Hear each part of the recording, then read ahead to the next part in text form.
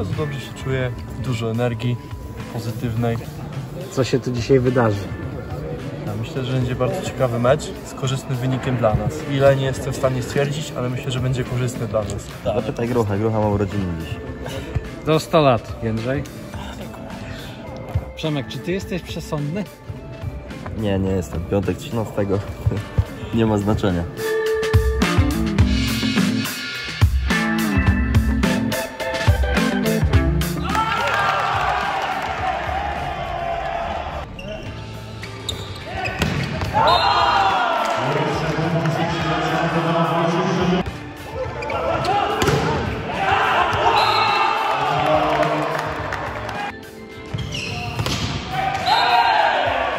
Trzeba pochwalić drużynę Rzeszowa za zagrywkę, bo dzisiaj naprawdę sporo problemów narobili nam tym elementem, serwowali bardzo mocno. U nas z kolei tego brakowało, mieliśmy tylko może pojedyncze takie jak mini serie, że tak powiem. A tak poza tym myślę, że ogólnie nasza gra wygląda zdecydowanie lepiej niż w poprzednim meczu. Ale jednak nie jest to jeszcze to, co byśmy wszyscy chcieli. Було близько, так, програли ми тільки третій сет, так слабо. Але ну, myślę, що може więcej, бло- więcej blendów mamy i to, to musimy zmienić.